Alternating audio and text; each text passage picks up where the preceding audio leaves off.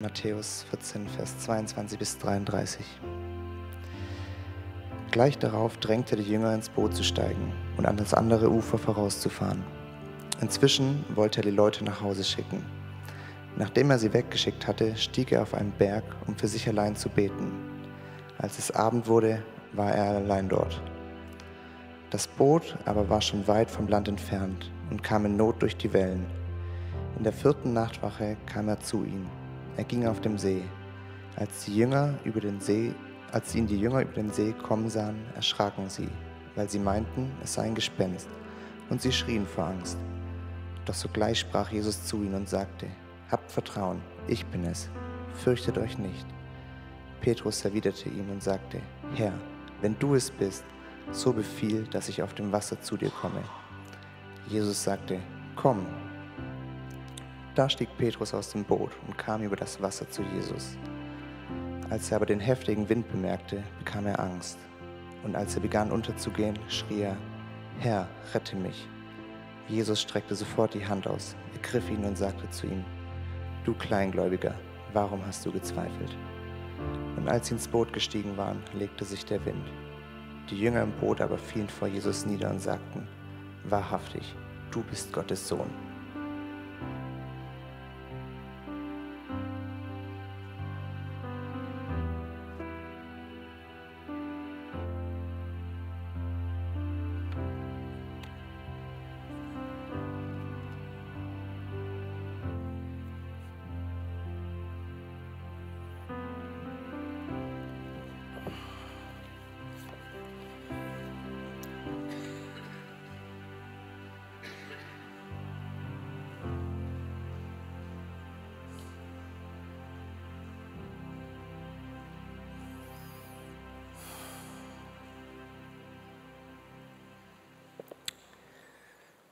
Das ist mein Boot.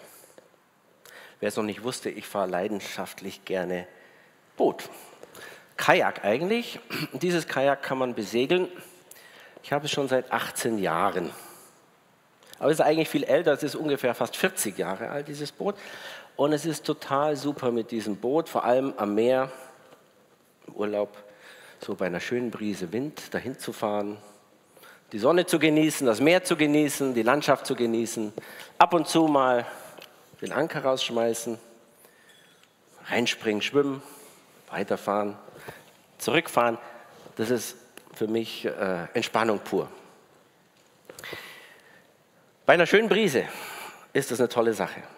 Wenn es aber ein bisschen böig wird, wenn es stürmisch wird, wenn es welliger wird, ähm, dann macht es keinen Spaß mehr. Dafür ist das Boot nicht ausgelegt. Es ist ja eigentlich ein Kajak, wenn man es besegelt.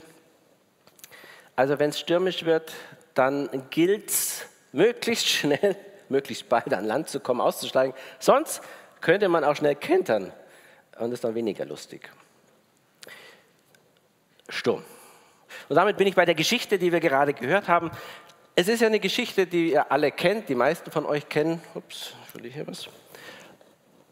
Geschichten aus der Kindheit, Kindergottesdienst, Kids-Treff, Bilder ausgemalt, Petrus läuft auf dem Wasser. Ihr kennt sie, diese Geschichte. Wir wollen mal sehen, ob wir heute noch mal was Neues entdecken in dieser Geschichte, die ja so alt ist, ähm, die wir alle kennen, die die meisten von uns kennen. Weil ich glaube, man kann doch noch eine Menge über Jüngerschaft lernen aus dieser Geschichte und über Jesus. Und der Titel dieser Predigt lautet, vom Wagnis auf dem Wasser zu gehen. Untertitel, was zeichnet Menschen aus, die auf dem Wasser gehen? Petrus und seine Freunde steigen nach einem anstrengenden Tag ins Boot. Wir haben vorhin kurz gehört, was liegt hinter ihnen ein ganzer Tag, wo sie mitgeholfen haben, 5000 Menschen satt zu kriegen, auszuteilen, und dann steigen sie ins Boot. Alleine, also ohne Jesus, weil Jesus sagt, geht ihr mal alleine, ich möchte noch ein bisschen für mich sein. Nun, es ist für die Jünger nichts Außergewöhnliches. Einige sind Fischer. Petrus war es ein halbes Leben lang zur See gefahren, könnte man sagen, also in Booten gesessen. Kein Problem. Ab ins Boot und los geht die Fahrt. Allerdings nicht so, wie sie gedacht haben. Es kommt ein Wind auf, es kommt immer mehr Wind, es kommt Sturm auf, Wellen schlagen ans, ans Boot und irgendwie, es wird Nacht und dunkel und irgendwie wird das Ganze doch ein bisschen spooky. Warum? Sie sehen da so eine Gestalt plötzlich auf dem Wasser und die Jünger meinen, es ist ein Gespenst. Und sie schreien vor lauter Angst, heißt es. Ein Gespenst. Und ich habe mich gefragt, warum haben die Jünger eigentlich nicht gemerkt, dass es Jesus war? Also jetzt haben sie schon so viel erlebt mit ihm, gerade eben ein Wunder mit 5000 Broten und andere Wunder. Also was liegt da nahe, als zu denken, wer soll es denn sonst sein, außer Jesus? Es ist interessant, es gibt mal noch eine andere Geschichte, wo Jesus auch nicht erkannt wird, die sogenannte Emmaus-Geschichte. Da gehen Jünger nach dem Tod von Jesus nach Emmaus und Jesus läuft neben ihnen her und das heißt, sie, sie erkannten ihn nicht. Und ich glaube, diese beiden Begebenheiten wollen uns eins deutlich machen, dass es nämlich manchmal Augen des Glaubens braucht, um zu erkennen, dass Jesus da ist. Wie oft tun wir uns so schwer, in unserem Leben Jesus zu bemerken oder zu entdecken, vor allem dann, wenn, ups, wenn Wellen und wenn Angst über uns hereinbrechen. Kurz gucken, so rum. Wenn Zweifel auf uns einprasseln, dann Jesus zu entdecken, ist echt herausfordernd. Was auch interessant ist oder bemerkenswert ist ja, die, die Jünger gehen auf den Wunsch Jesu hin ins Boot, sie steigen da rein. Es heißt eigentlich, er drängte sie, er nötigte sie, ins Boot zu steigen und rüber zu fahren.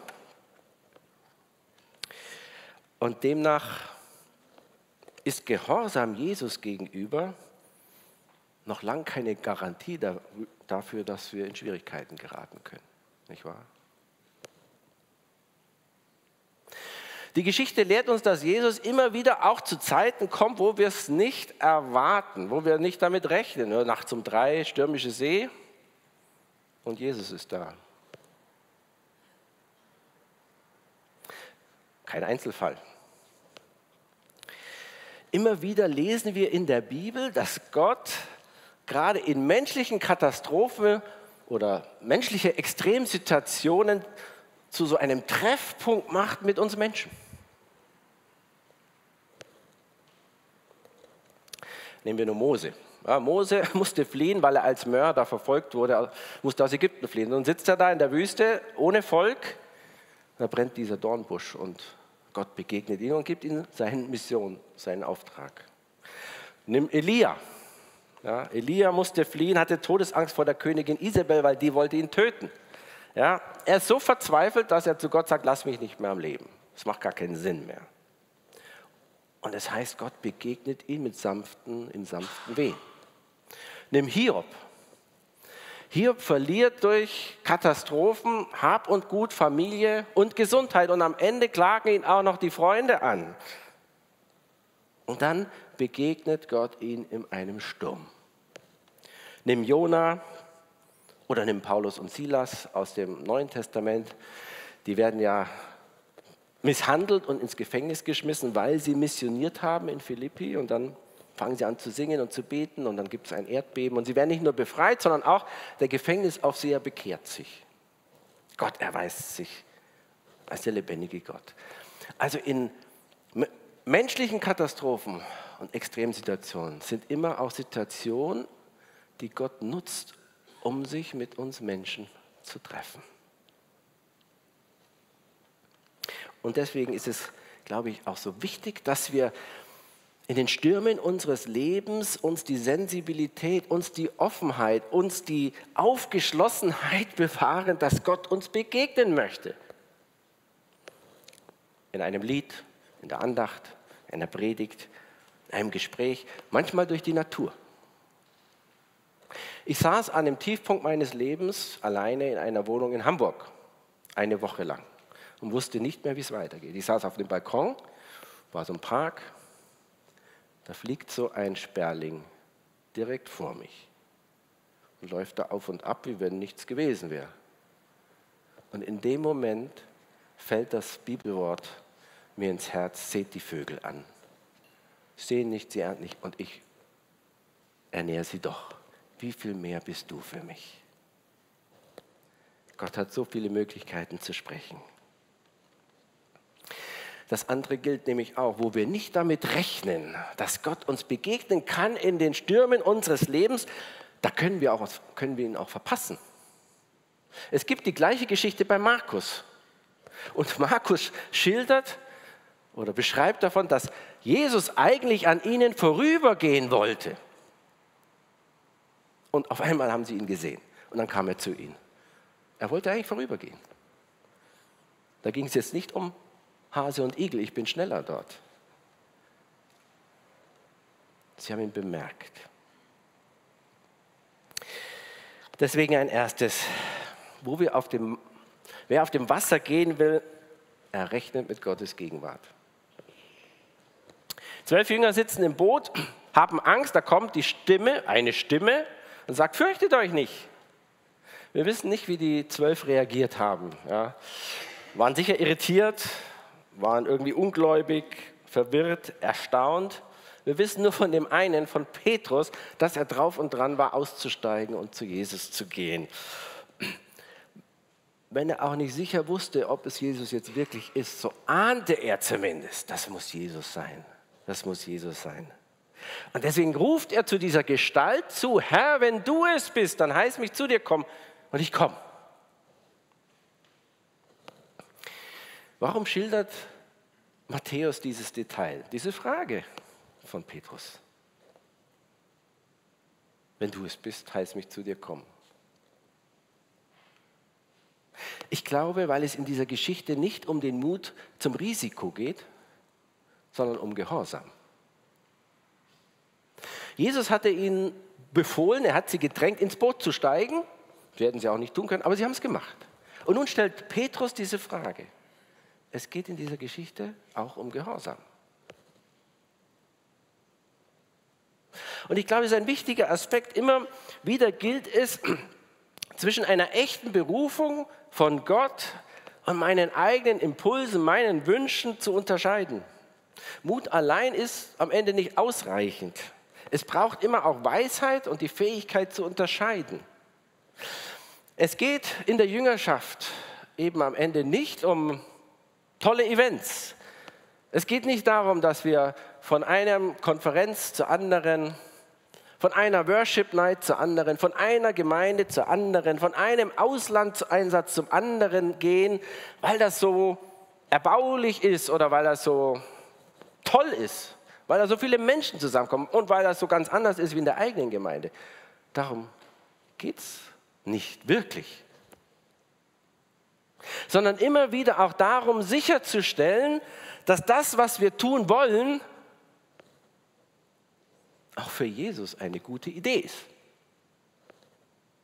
Und deshalb die Frage von Petrus, Herr, wenn du es bist, dann heiß mich zu dir kommen.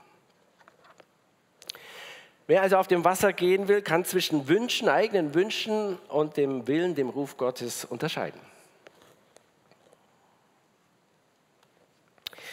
Nun, lasst euch noch mal mit in die Situation nehmen und stellt euch vor, ihr sitzt im Boot.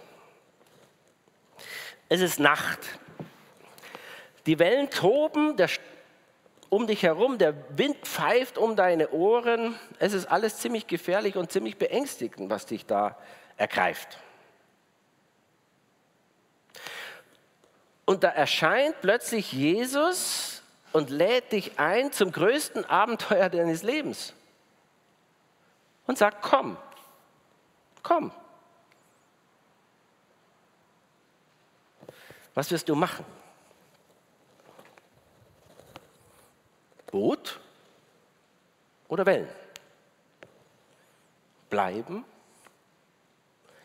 oder aussteigen?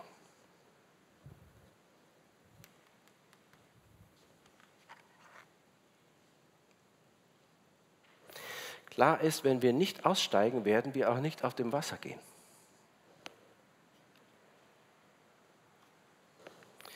Wer auf dem Wasser gehen will, der muss aussteigen. Und ich möchte dich heute Morgen fragen, was ist eigentlich dein Boot, in dem du sitzt? Unser Boot ist ja all das, worauf wir unser Vertrauen und unsere Sicherheiten setzen, wenn es im Leben stürmisch wird. Unser Boot ist das, was uns manchmal auch ein bequemliches Leben macht. Und was mich davon abhält, weil es so schön bequem ist, auszusteigen und auf dem Wasser zu gehen.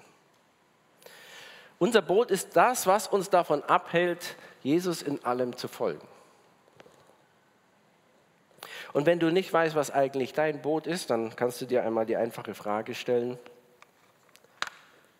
was jagt mir die größte Angst ein bei der Vorstellung, dass ich loslassen müsste und Schritte im Glauben hin ins Ungewisse gehen müsste? Was jagt mir die größte Angst ein?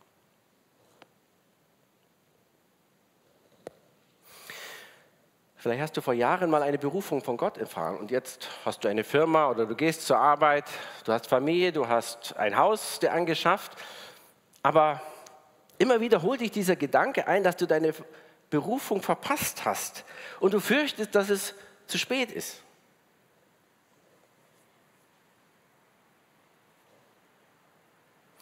Vielleicht bist du in einer Beziehung zu einem Mann, bist verliebt, aber von seiner Seite kommt nicht so viel Zuneigung.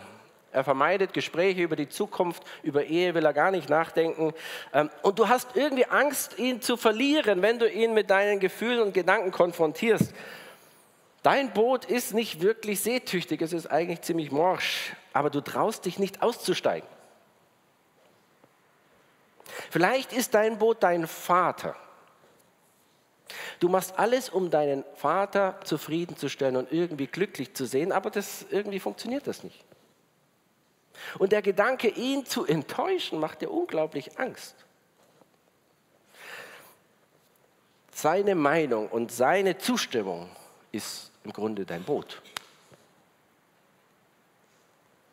Auch beruflicher Erfolg kann ein Boot sein. Mein Boot ist, dass ich gerne mein Eigentum um mich herum für mich habe und mich schwer tue, loszulassen, zu teilen, zu geben, zu verschenken, weil ich Angst habe, vielleicht zu kurz zu kommen. Was ist dein Boot? An welcher Stelle schreckst du davor zurück, Gott ganz zu vertrauen? Weil das Boot zu verlassen, das kann einer der herausforderndsten äh, Vorhaben deines Lebens sein. Aber wenn wir auf dem Wasser gehen wollen, dann müssen wir das Boot verlassen. Wer auf dem Wasser gehen will, der muss aus dem Boot aussteigen.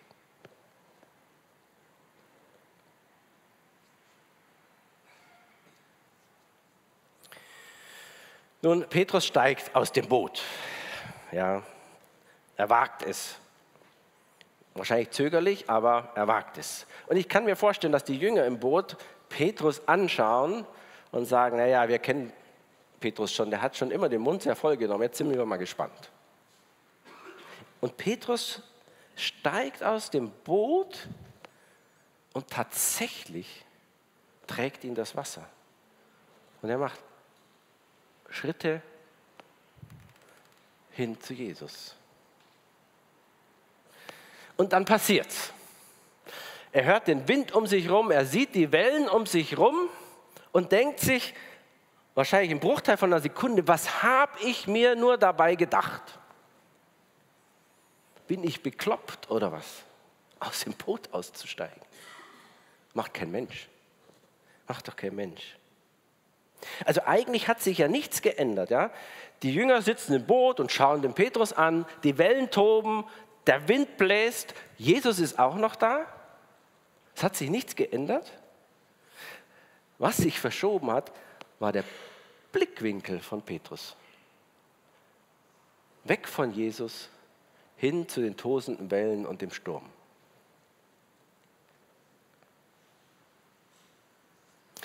Nun, manche Schwierigkeiten im Leben, die sind mm, mm, immer wieder erwartbar. Ja? Du fängst eine neue Stelle an, Du bist neu, du musst dich einarbeiten, du kennst die Materie nicht, ein ganz neuer Bereich vielleicht, ähm, neue Kollegen, Das ist einfach nicht einfach. Es ist normal, dass es da auch mal Schwierigkeiten geben kann und äh, dass du manchmal vielleicht auch daran zweifelst, ob du dafür geeignet bist äh, irgendwie oder ja, ob du dem das Wasser reichen kannst.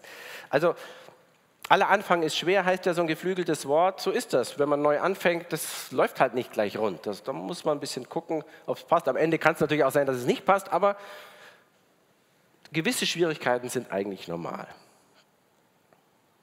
Auch dass unsere Welt im Grunde ja auch ein stürmischer Ort ist, ist auch nichts Neues. Wir brauchen bloß die Nachrichten anschauen, wie der Sturm tobt. Überall. Eigentlich wissen wir es auch. Und doch haben die Schwierigkeiten, die manchmal in unser Leben kommen, manchmal so eine, so eine Macht, so eine Dimension, dass wir total überrascht sind und voller Panik. Und wegen dem Wind und der Wellen steigen manche ja erst gar nicht aus dem Boot. Ja, weil äh, lieber sicher, lieber nicht aussteigen. Nur wenn man es mal nüchtern sieht, wenn man es mal ganz nüchtern betrachtet, gibt es ja keine Garantie, dass du im Boot verschont bleibst. Diese Woche, habt ihr sicher die meisten mitbekommen, gab es ein tragisches Unglück vor der Küste von Sizilien. Eine Mega-Yacht, 56 Meter lang, 22 Leute drauf, innerhalb einer Minute im Sturm untergegangen. In der Nacht. 15 Menschen konnten sich retten, sieben sind verstorben, mittlerweile geborgen.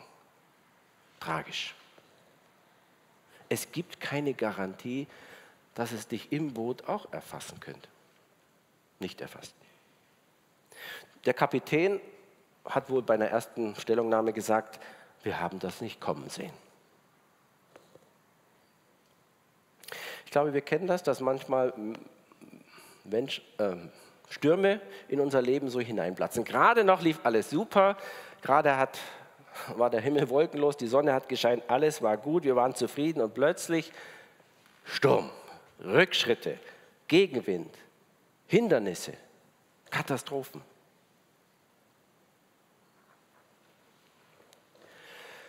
Es ist herausfordernd, das Boot zu verlassen. Ja, es ist herausfordernd, aber es liegt auch eine Gefahr darin, drinnen zu bleiben. Im Grunde ist alles riskant. Man kann nämlich auch im Boot, im Boot an Stillstand und Langeweile zugrunde gehen.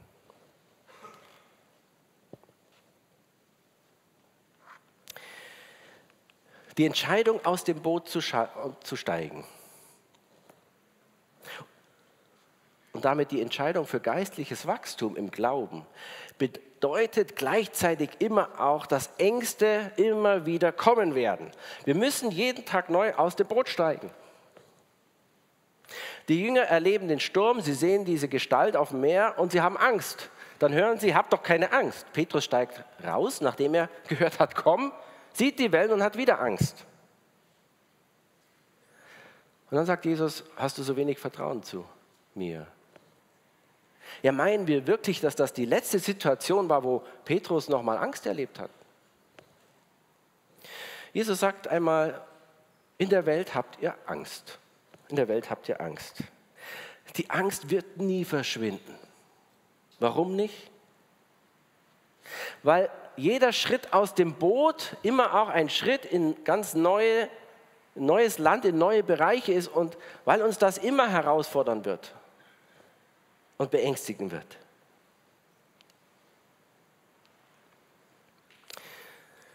Tolle Aussichten, was?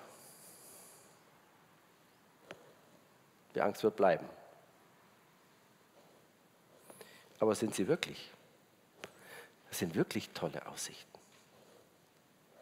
Denn nun können wir aufhören, verzweifelt zu versuchen, unsere Ängste als Christen irgendwie aus dem Leben zu drängen, als dürften sie nicht sein. Es gibt ja Christen, die meinen, es darf keine Angst sein. Also wenn du Christ bist und Glauben hast, pff, ist die Angst per se. Wenn du es noch nicht wusstest, Angst und Wachstum können, können immer zusammen. Angst und Wachstum im Glauben gehören immer zusammen. Nimm Mose. Was hatte er Angst und was war er verzweifelt, als Gott ihn beruft hat? Er fühlt sich schwach, er fühlt sich nicht zum Reden zuständig, Panik pur.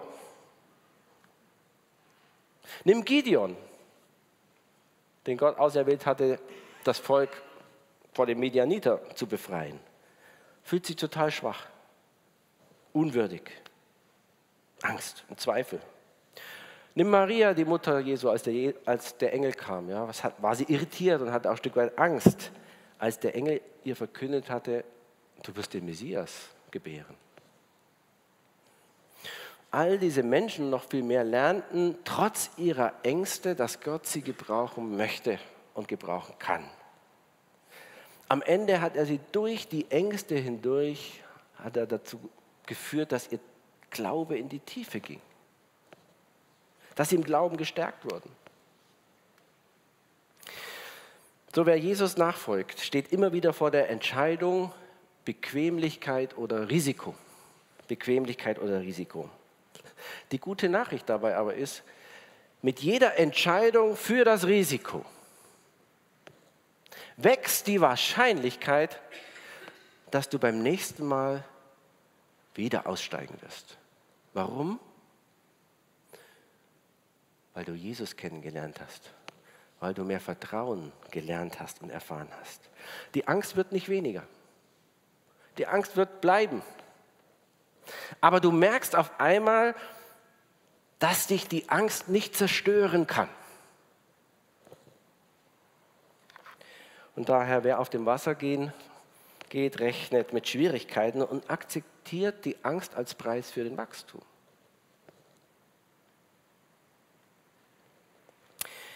Nun, hat Petrus in der Geschichte jetzt versagt? Könnte man ja denken. Irgendwie ist es auch so, ja. Er sah die Wellen, er hat gezweifelt, äh, er ist untergegangen. So einfach ist das. Aber wie ist das denn mit dem Versagen eigentlich? Versagen ist ja im Grunde nicht unbedingt jetzt nur der Umstand, sondern ist im Wesentlichen die Beurteilung eines Umstandes. Versagen passiert nicht einfach irgendwie und so, sondern hat mit dem zu tun, wie ich über das Ergebnis denke. Man könnte ja auch mal fragen, sitzen nicht die größten Versager hier im Boot?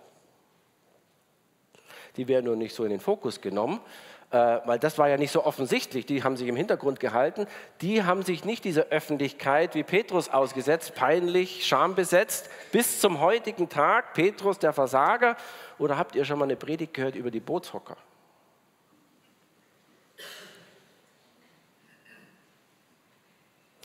Auf der anderen Seite hat nur Petrus erlebt, dass er etwas gewagt hat, was menschlich gesehen eigentlich nicht ging nicht möglich ist, eben auf dem Wasser zu gehen.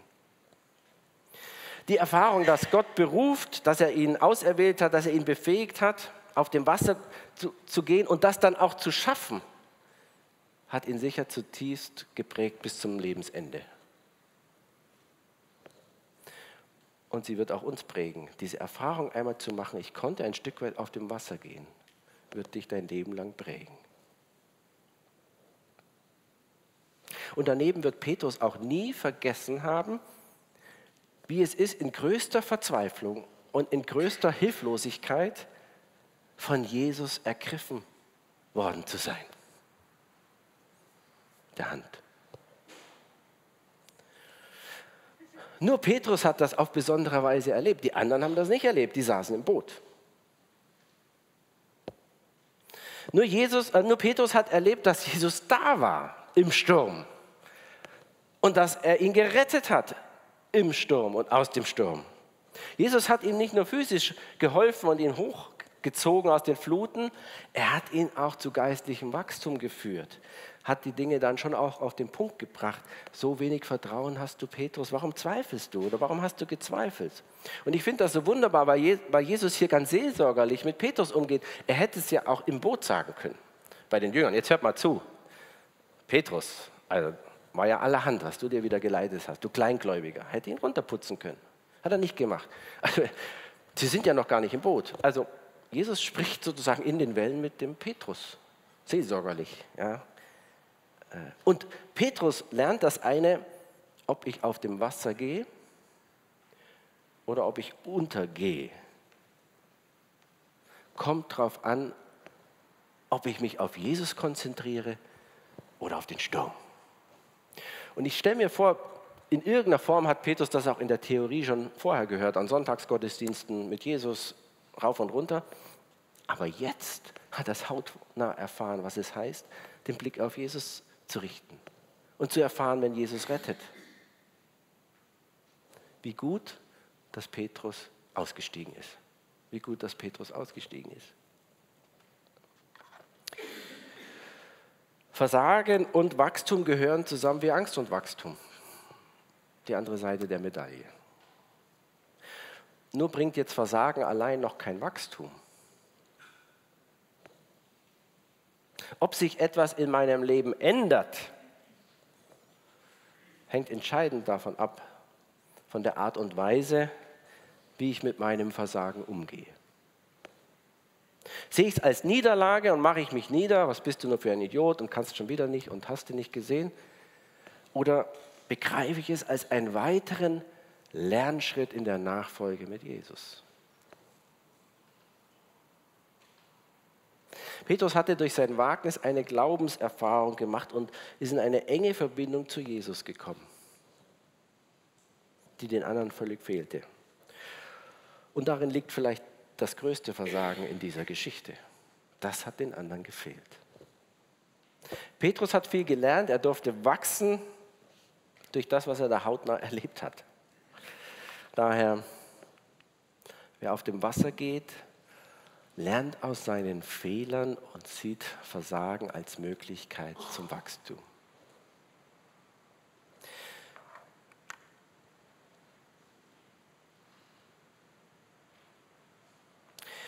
Jesus sucht bis heute Menschen, die aus ihrem Boot aussteigen. Aber warum dieses Risiko eingehen? Ich glaube, weil es ein wesentlicher Weg ist, um im Glauben zu wachsen. Ich glaube, weil es auch Teil deines Berufungsprozesses sein kann, den Gott dich führen will. Und weil es dich davor bewahren kann, vor Stillstand und Langeweile im Boot sitzen zu bleiben. Aber das viel Wichtigere, glaube ich, was es heißt, auszusteigen aus dem Boot, ist, weil Jesus nicht im Boot ist, sondern auf dem Wasser. Jesus ist nicht im Boot, Jesus ist auf dem Wasser.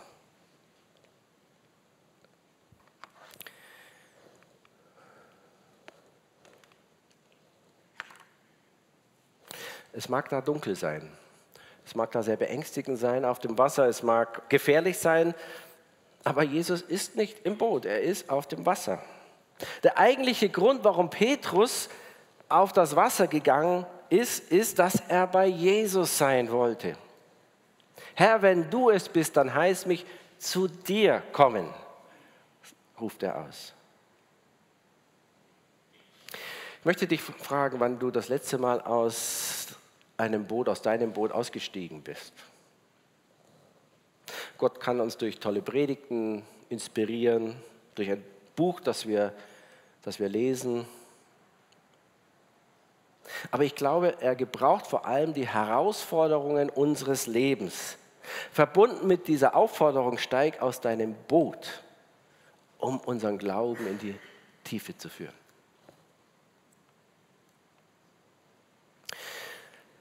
Wir neigen, ich neige meistens dazu, den bequemlichen Weg zu gehen. Hab gern alles unter Kontrolle, will mein Leben gerne auch selber managen. Alles andere ist immer so ein bisschen unsicher. Kann ein guter Job sein, das können ja unsere Versicherungen sein, unsere Bankkonten, die uns suggerieren, es wäre alles sicher. Wir hätten es in in dem, im Griff. Ich denke, seit Corona seit Ukraine-Krieg, seit Krieg in Israel, wissen wir, es ist im Grunde nichts sicher. Von heute auf morgen kann sich alles ändern. Der Aufruf, aus dem Boot zu steigen, steht ganz oft in Verbindung mit Krisen, mit Ängsten, mit Versagen, manchmal auch mit Leid und immer wieder auch mit Aufgaben, die unsere Fähigkeiten eigentlich übersteigen.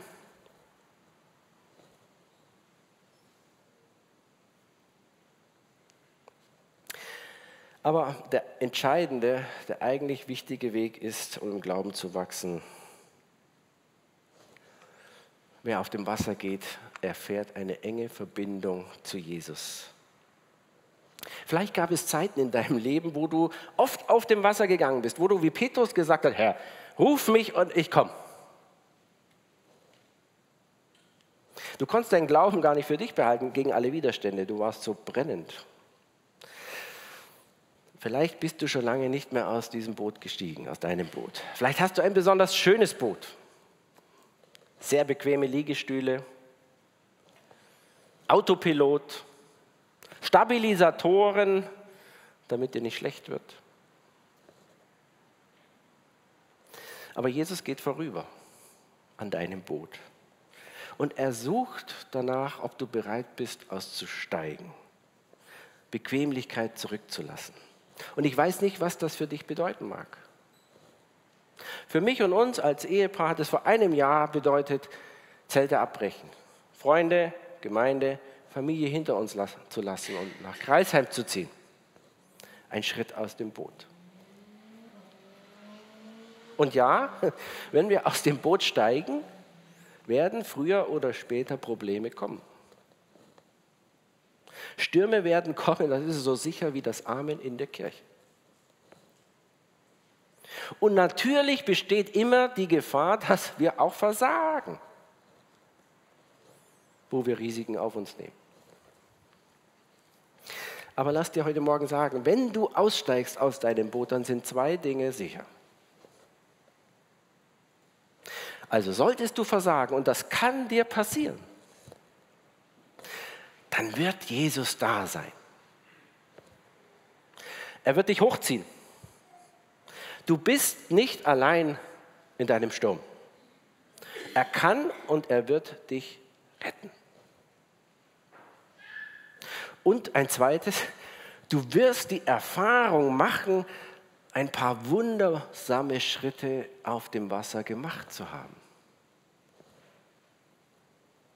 Schritte, die dein Glauben und deine Risikobereitschaft wachsen lassen. Schritte, die du nie vergessen wirst.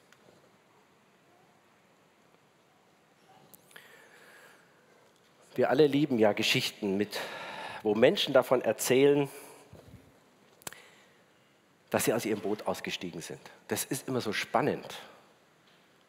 Und wir sind fasziniert, wenn Menschen ihre Lebensgeschichten erzählen und erzählen, was sie mit Jesus erlebt haben im Sturm und wie sie es geschafft haben, auszusteigen. Das Problem ist nur, diese Geschichten führen in der Regel nicht dazu, dass dein Glaube Tiefgang bekommt. Zumindest nicht längerfristig. Sie begeistern, sie sind irgendwie erbaulich, aber sie werden deinen Charakter nicht verändern. Sie werden dein Glaubensleben nicht wirklich verändern. Verändern wird nur, wenn du es schaffst, aus deinem Boot auszusteigen und Schritte zu gehen. Mutige Schritte. Amen. Mm-hmm.